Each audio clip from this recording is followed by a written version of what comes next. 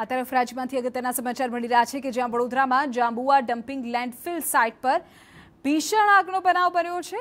નજીકની સોસાયટીઝમાં ધુમાડાના કારણે લોકોને ગુંગળામણની પણ ફરિયાદો ઉઠી છે.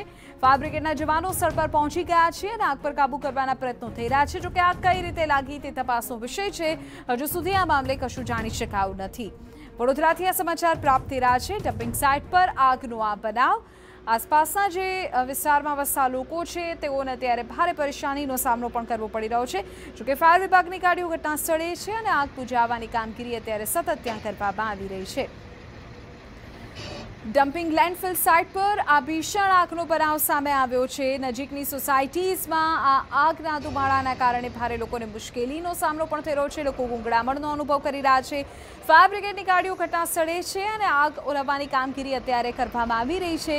જો કે આ આગ કઈ રીતે લાગી તે જાણી શકાયું નથી. આ ડમ્પિંગ સાઇટ છે, આ ખૂબ પ્રસરી ચૂકી છે. ભીષણ આગના દ્રશ્યો આપની સ્ક્રીન સમક્ષ.